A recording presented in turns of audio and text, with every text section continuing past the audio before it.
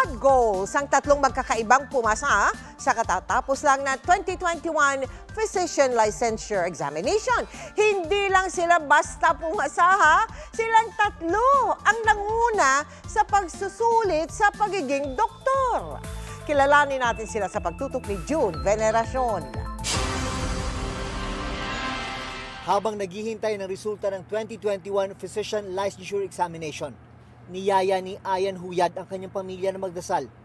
Nasa kalagitnaan sila ng pagrorosaryo nang sunod-sunod na magpasukan ng mga text message sa kanyang telepono. Pagkatapos magdasal, sinagot niya ang isang tawag. Ang kanyang girlfriend ang nasa kabilang linya.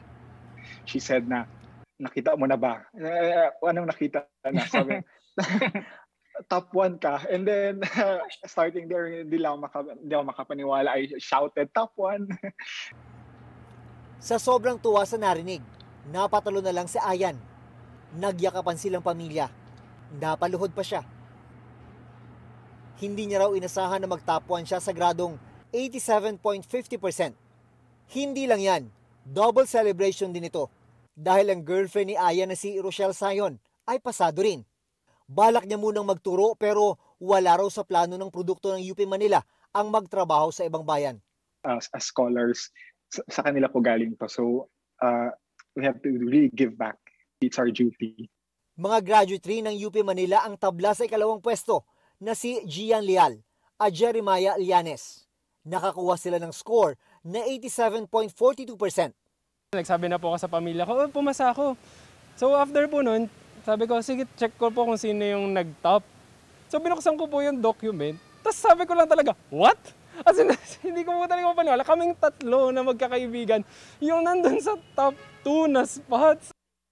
Hindi raw talaga sila makapaniwala na mangyayari ito sa kanilang tatlong magkakaibigan.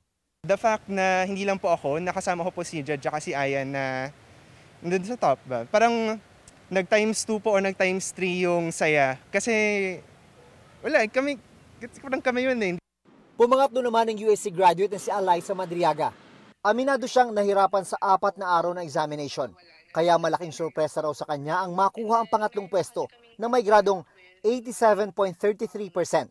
Nagdadasal na lang po talaga ako every after exam, every before exam na Lord, give me strength na makapagsagot pa din po for this kahit napagod na po yung utak ko, pagod na po yung katawan ko. Kasi iba rin po yung challenge to, to take the exam with mask and face shields. Sa 2,302 na nag-exam noong Oktubre, 1,677 ang pumasa. June Veneracion, nakatutok, 24 oras.